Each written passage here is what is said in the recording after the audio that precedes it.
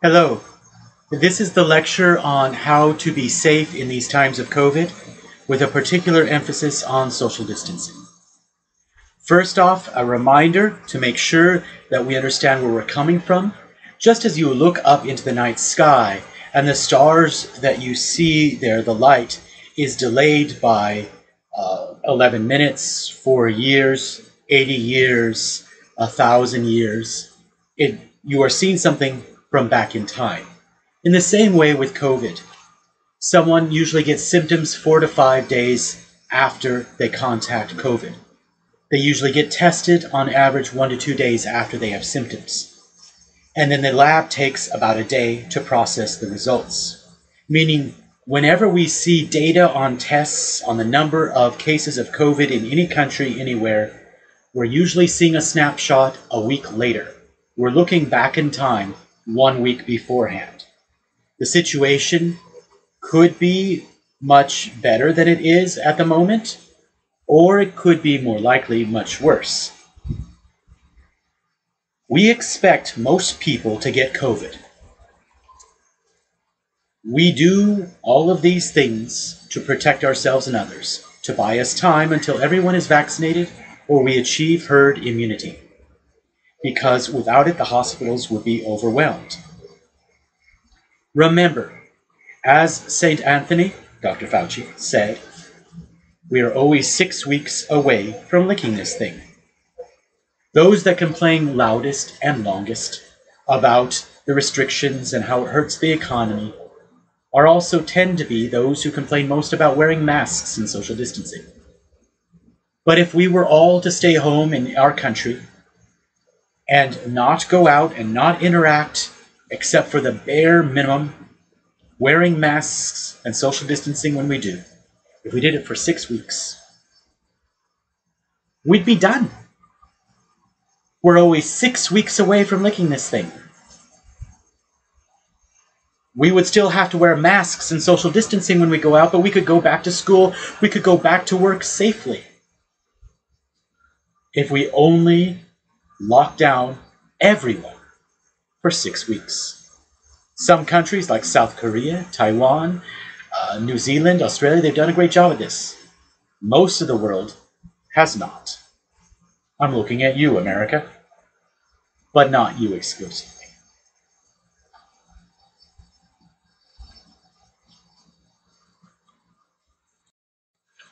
So, why do we do this? We do this so that we don't provide too much of a burden on already burdened hospitals. Every country has a different number of intensive care beds. If 5% of your cases require intensive care and you can't provide it, most of those 5% die. It's that simple. And no country has enough intensive care beds for their population under COVID. America had a chance to increase its intensive care beds, but the leadership of the country at the time chose not to do so.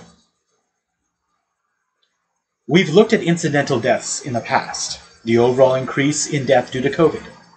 Some, many of those cases who die during this time don't die from COVID directly, but they die indirectly.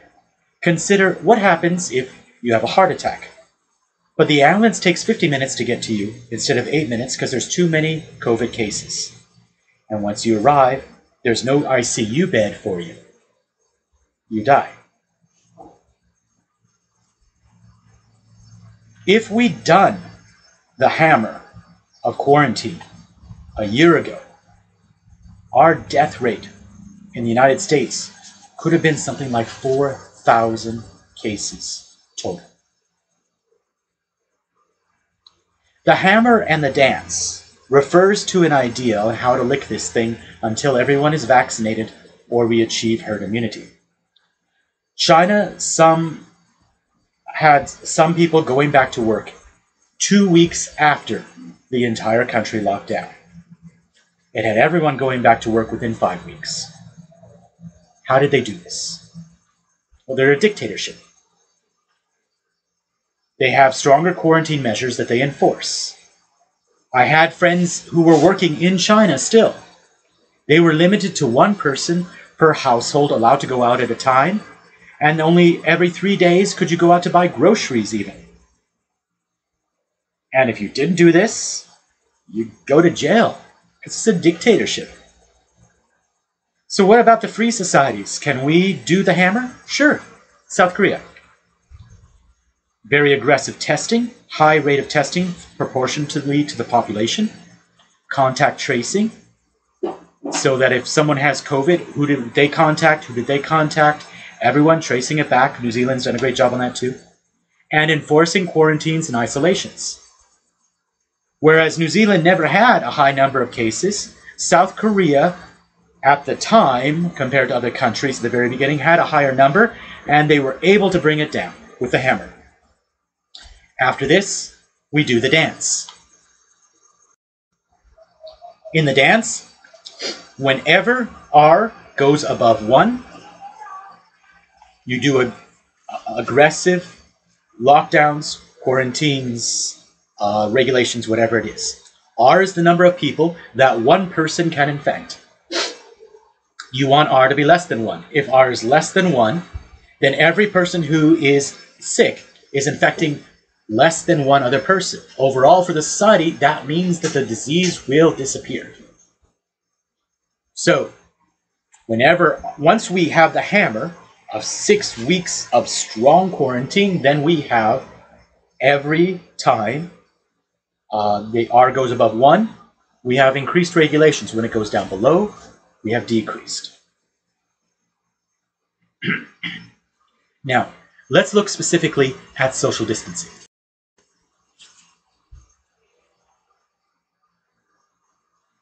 We can do this. The WHO says that most infectious pe- people are most infectious about two days before they develop symptoms, and that the asymptomatic can pass on the disease.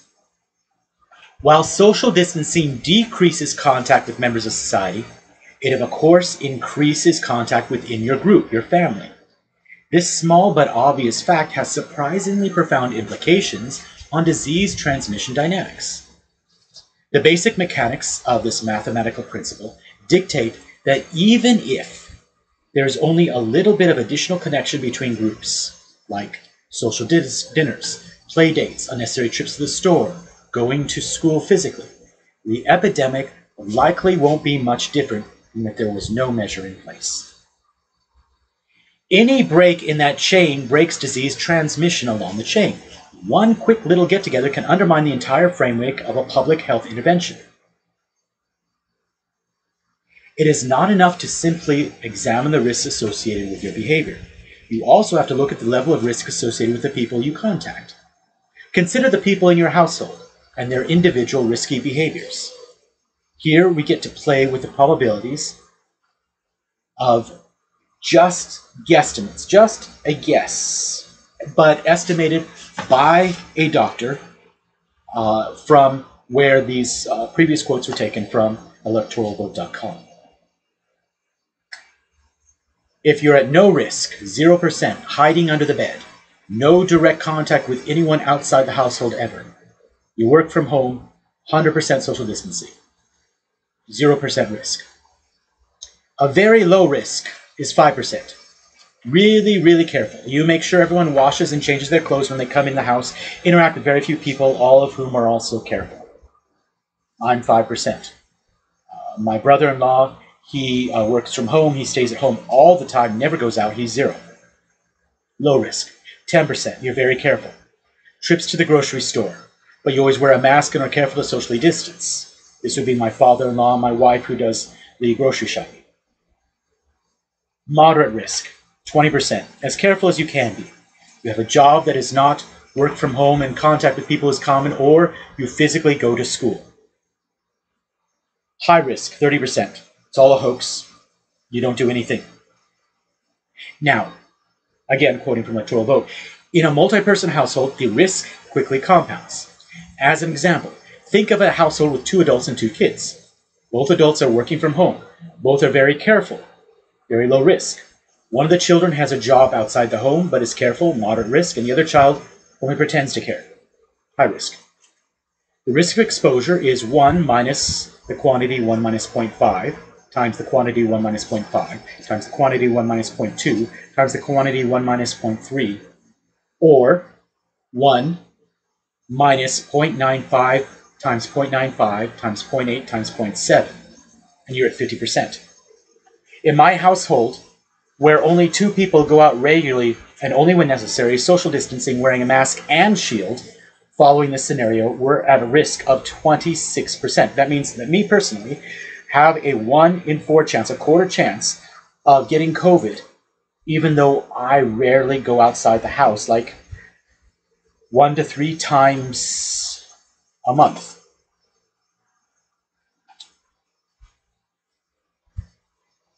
Just like radiation, your dosage also matters. A small or large exposure of the virus will give you the virus, but the more exposed you are, the more at risk you are of getting more of the virus. And here's where this matters. If you're healthy, your body can win the race of antibodies and white blood cells and defeat the virus before the virus defeats you. But if you're not healthy, and you're exposed to more, then the virus has a leg up, a head start, and you don't. Our goal is six feet for six seconds at the grocery store. Dealing with strangers. That's a hard goal to make. Enclosed spaces are worse and the longer time you are with people, the higher your dosage, just like radiation. You fly in an airplane, you're exposed to radiation. Ain't no thing. Your pilot is wearing a radiation badge because she's up there maybe 200 days, 230 days out of the year. She's getting the same amount of radiation as you are in every minute she's up there, but she's up there for a lot more minutes. And at a certain point, when her radiation tab reaches too high, her airline says, You can't fly anymore this year. You've reached your limit. It's too dangerous. When you are exposed to more virus, more people who have the virus, your risk increases. This is why it's so dangerous for frontline workers. When you're in an enclosed space, it's worse. And the longer time you're there, the higher the dosage. Living in an apartment building is worse. People get COVID more often in apartment buildings because that air is circulating through the indoor hallways. It's worse if you're in a gym, all that heavy breathing inside the gymnasium. Take the case of a choir in Washington in the early days of this. They were rehearsing safely with social distancing in a volleyball court. But because of the forceful exhalation of breath, from all that singing.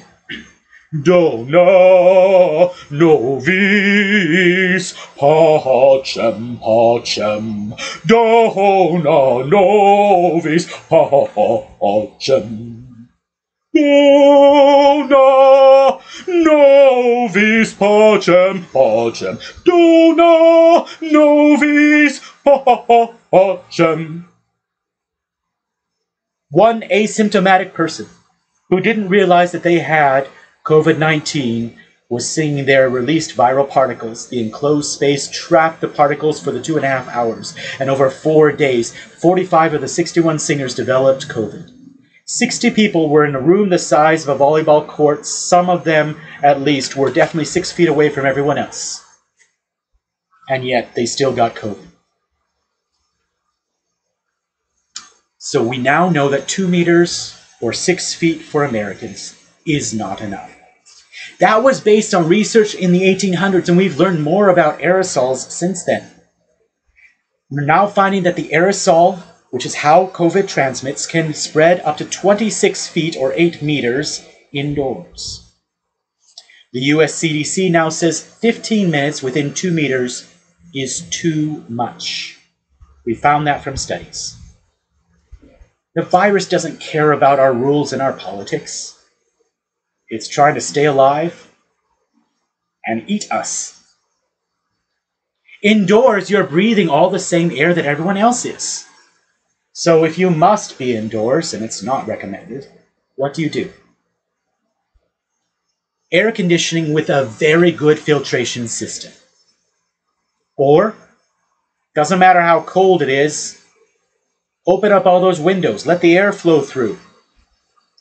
You are not going to get a cold from cold air. That's a virus, a coronavirus, ironically, that gives you a cold. Could you get hypothermia? Yeah, if we're talking it's 20 below outside. So if it's 20 below, don't open all the windows and don't don't go to school and work in person. The 2 meter rule was for outdoors and for brief interactions indoors. The bare minimum indoors is two meters when masks. Now, remember, with when all adults getting the vaccine, this means that you, epidemiological children 16 and under, are now the ones most at risk. An MIT study in December they calculated safe exposure times and occupancy levels for indoor spaces based on a bunch of factors like time, room size, humidity, and the behavior of those inside. In a restaurant, for example, the model projects of this study 50 occupants would be safe for two hours, while 100 people would be safe for only 64 minutes. The amount of exposure matters. How many people you're exposed to, how long you're with them. But current general guidelines say that social distancing would fit 138 people in that space.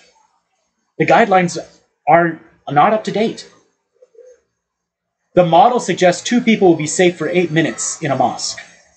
25 people would be protected for four hours. And 100 people for only two hours. Uh, I said two people would be safe for eight days, I should have said eight days for two people, 25 occupants for four hours, 100 people for two.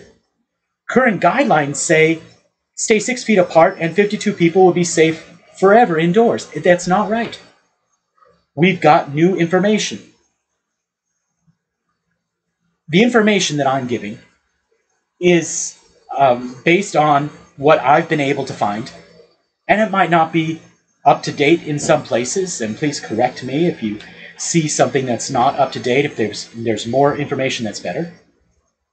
But that's how science works. Something in science is true until we get new evidence. And what we understood at the beginning of this pandemic was the best evidence we had. That's what the science was relying on. Remember, at first they were saying there's no reason to mask in the very beginning. But we got better evidence and we realized how valuable masking was for protecting others more than yourself. So instead of one official distance, researchers now suggest a graded recommendation, depending on factors including whether someone is singing, or talking, or breathing heavily, or indoors or outdoors. Now let's turn to masks. Masks protect you, they protect others more. The most effective at keeping the particles from getting out into the world, most effective thing is wearing a mask. Asymptomatic people who have COVID are less likely to spread if you're wearing a mask. That's why we all wear masks, even though we probably don't have COVID or we don't think we do because you're asymptomatic, you don't know. Remember the previous statistic I showed you that one third of people who are asymptomatic. One third of people who have COVID are asymptomatic. One third. Of the groups of mild symptoms, moderate symptoms, and serious symptoms, the biggest group is neither of those three, it's the asymptomatic. Asymptomatic people are less likely to spread it if they're wearing a mask. And without a mask, the two meter rule or more doesn't work. You can go to a party for an hour and be socially distanced two and a half meters with masks and sing and shout. If you remove the mask and continue to social distance outside, you could still safely go to the party, but stop singing and shouting. Masks reduce the severity of infection a lot as well. And it's about exposure duration, like I said. No matter the quality, it will filter out the majority of particles, no matter your mask quality. Masks help, and they reduce the severity in studies. Cultures that normally mask up, mostly in East Asia, have far fewer cases and less severe cases among those that get it. Masks help. They reduce the exposure to the virus particles. Which mask? The N95 is the best, but without the vent. If you have the vent, then you need to put a tab over the nose because you will be rebreathing the particles out. You will be protected, but you will be breathing particles out and other people will be exposed. After the N95, a surgical mask. After the surgical mask, anything else. But any kind of mask will substantially help. Doubling the mask is even better. And children two and above are recommended by pediatricians to wear masks. My son Darwin wears a mask. Shields. I don't know why there are so many countries that are not putting a shield requirement in. I'm happy that my country in the Philippines here, shields are required because they protect you better. It's like seatbelts and, motor- and motorcycle helmets. They, we wear seatbelts uh, and motorcycle helmets to protect the wearer. But seatbelts also protect you from impaling other people with your body. A shield is your motorcycle helmet. It will protect the wearer. but it is not a replacement for a mask. Wear both. The viral particles can come up underneath the shield, but the particles go onto the shield surface instead of on the mask surface. And it makes you touch your face less. Which means you don't transfer viral particles from surfaces to your nose, mouth, eyes. You also don't accidentally uh, stab yourself in the eye, because that happens a lot. Groceries. We're now saying that we know the virus is more from aerosol than touching disinfected uh, than touch. Disinfecting every last item is no longer considered necessary. For instance, uh, my mom got me a UV light. We run it, um, we run it over the groceries. It will kill uh, grocery any surface to kill all the bacteria if you hold it there for 10 seconds. We don't do that. We just run it lightly over the groceries as a precaution. We take a shower and we um, we uh, soap up and everything when we come home every time. We just wand the groceries briefly. We don't use disinfecting spray as that would contaminate the food through the package. So you don't use a spray on the package because a lot of packages aren't designed for those disinfectant sprays and you will then um, get that going through into the food. If you want to clean your groceries still, use soap and water. And on your vegetables, your fresh food, don't use soap, use just water because soap can give you diarrhea. And you can just use a UV light, uh, run it on, run it over. But what should you do for grocery shopping? These are the important things. Avoid crowds. Shop quickly wear a mask and shield. Go alone, not with other people from your family. Sanitize the cart and hands. That grocery cart before COVID has more bacteria and viruses on it than on a toilet seat. If you're going to touch a grocery cart with your hands, even without COVID, then please, the next time you go into a public restroom, Also put your hands on the on the toilet seat. When you go grocery shopping, sanitize the cart with a little bit of alcohol on a wet wipe. Do not wear gloves. Why? And the cashier is stressed out. He's got to deal with so much. Give him space. He's exposed, duration of exposure, remember, to many people throughout the day. He's on a high risk job. Give him space. Be nice. And if you can, use no touch payment, like a card or a phone, if you're one of the advanced countries that uses allows for phone payment. Now we turn to herd immunity. What is herd immunity? Is it like an elephant herd protecting from lions? To achieve herd immunity, we need somewhere between 50 to 70% exposure. Either people who are exposed to COVID and get COVID, whether or not they get symptoms, or the vaccine. We think. We're still not sure. But we think it's 50 to 70% exposure. There are some indications that people who develop mild to moderate symptoms do not get natural immunity. But the good news is that research indicates that antibodies are long lasting.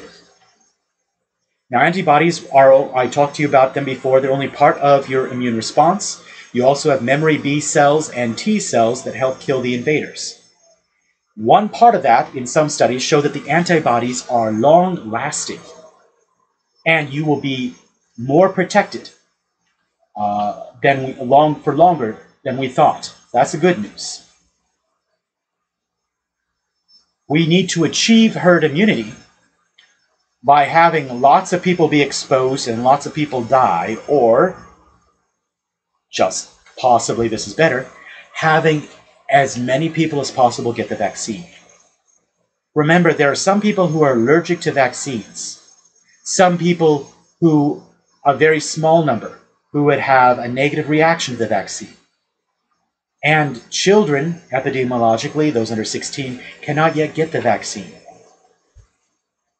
So even if the rest of us do, and they can't, there can be reservoirs of the virus that remain in those populations, which leads to repeat flare ups throughout the world until the younger people can get the vaccine. Which means that in order to protect us all, everyone who can get the vaccine needs to. And that's what we'll be talking about in a future lecture.